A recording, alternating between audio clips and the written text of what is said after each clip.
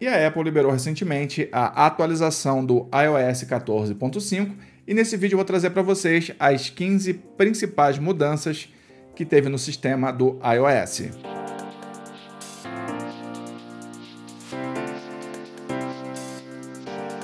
Fala galera, beleza? Quem fala aqui é o Sandro, você está aqui no canal em análise e hoje, como eu falei, a gente vai conversar sobre a atualização do iOS 14.5 que foi recentemente liberada pela Apple, tá? Essa atualização trouxe uma série de implementações que valem muito a pena de serem baixadas no seu smartphone. Mas antes da gente continuar, já deixa aquele like aí, se inscreve no canal se não for inscrito e ativa o sininho de notificação, senão o YouTube não vai mais falar para você quando tiver vídeo novo aqui do canal, beleza? Me segue lá no Instagram também, arroba canal em análise o link vai estar aqui embaixo. Bom, a primeira atualização que a gente tem aí é a possibilidade de você fazer o desbloqueio pelo Apple Watch. Hoje em dia, por conta da realidade do nosso país, a gente precisa estar utilizando a máscara no nosso dia a dia, tá? E aí, para você não enfrentar problemas com o Face ID quando você está de máscara, a Apple implementou agora uma solução que é o seguinte: quando você estiver utilizando aí o Apple Watch juntamente com o seu iPhone, você vai poder liberar o smartphone pelo Face ID utilizando aí o seu Apple Watch, tá?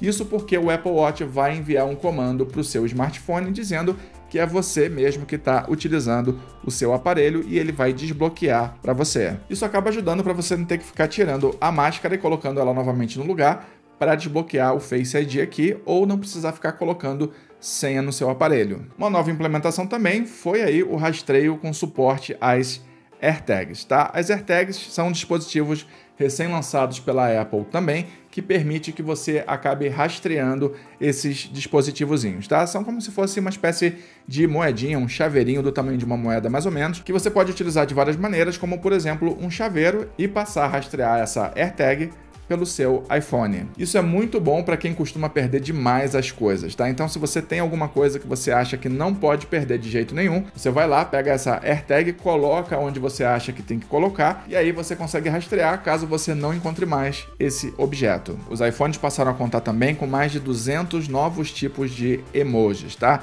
Agora você consegue fazer uma série de customizações e estilizações aí com alguns emojis que foram implementados no seu iPhone. Uma nova mudança é que agora você pode escolher também qual é a voz que você quer que a Siri tenha, se é uma voz feminina ou uma voz masculina, pelo menos Aqui no Brasil a gente vai ter essas duas possibilidades aí. Então você vai lá em customizações, escolhe a voz 1 ou voz 2 de acordo com seu gosto pessoal. A próxima implementação aí no sistema iOS tem a ver com o Apple Music, tá? Daqui para frente você consegue compartilhar trechos de músicas do seu Apple Music com alguns aplicativos, como é o caso do Messenger, do Facebook e do Instagram. Basta você ir lá selecionar a letra da música, o trecho que você quer, envia para a pessoa e ela passa a ouvir aquele trechinho de música que você compartilhou. Ainda com relação à música, agora você consegue pedir para Siri abrir uma música com seu aplicativo de música preferido, tá? Na primeira vez que você for solicitar, ela vai perguntar para você qual dos aplicativos relacionados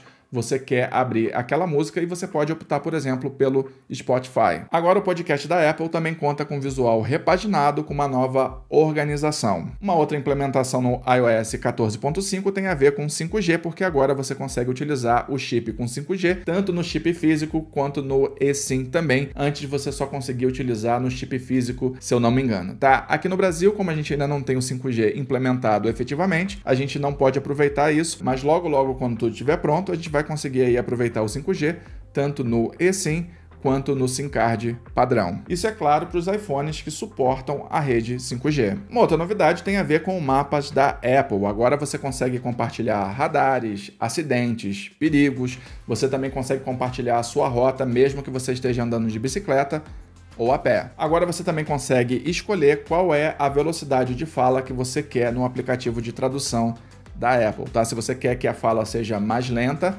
ou mais rápida conforme ela vai fazendo a leitura daquilo que você quer traduzir. Além disso, o iOS 14.5 também trouxe a compatibilidade total com os joysticks dos consoles da atual geração, tá? Então, o Xbox Series X e Series S, além do PlayStation 5, você vai conseguir utilizar esses controles no seu iPhone com total compatibilidade. Na verdade, não só com o iPhone, mas com todas as plataformas da Apple. Como a gente está falando aqui especificamente do iPhone, é ele que está em destaque. Uma outra questão que estava incomodando bastante os usuários aí do iPhone 11 tem a ver com a bateria, com a saúde da bateria, tá? As pessoas estavam relatando que a bateria dela estava caindo muito rápido, principalmente do ano passado para cá. Com a nova atualização, foi feita uma recalibragem e agora a Apple está entregando para você resultados mais verídicos da saúde da sua bateria, o que pode aumentar ou eventualmente diminuir a saúde dela. Provavelmente vai aumentar, tá? Mas eventualmente pode também diminuir. Tudo vai depender do estado da sua bateria na ocasião